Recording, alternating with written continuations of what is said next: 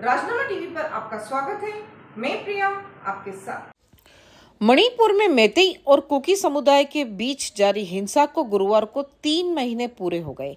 अब तक राज्य में 160 से ज़्यादा लोग मारे जा चुके हैं। कई लोगों के शव इम्फाल के अस्पतालों की मॉर्चरी में रखे हैं। इनमें से आज कुकी जो समुदाय के 35 लोगों के शवों को सामूहिक रूप से दफनाया जाएगा।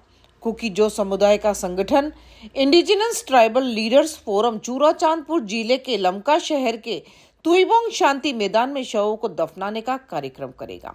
इस बीच विष्णुपुर चूरा चांदपुर ज़िले की बॉर्डर पर अतिरिक्त केंद्रीय सुरक्षा बलों को भेजा गया है।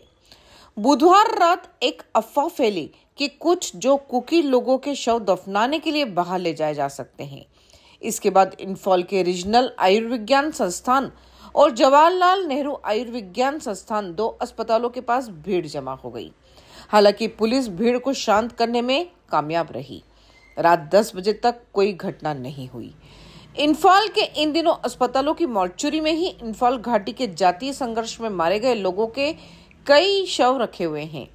किसी भी हिंसा को रोकने के लिए यहाँ Assam rifles rapid action force केंद्रीय रिज़र्व पुलिस बल और सेना की अतिरिक्त टुकड़ियाँ तैनात की गई है।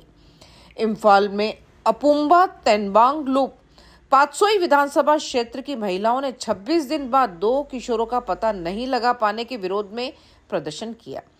तीन मई को हिंसा फैलने के बाद से राज्य में दो पत्रकारों और दो किशोरों समेत सत्तावीस लोग लापता हैं।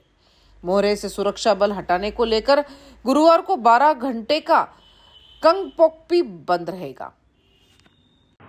इसी के साथ बने रहिए राजनामा टीवी के साथ। धन्यवाद।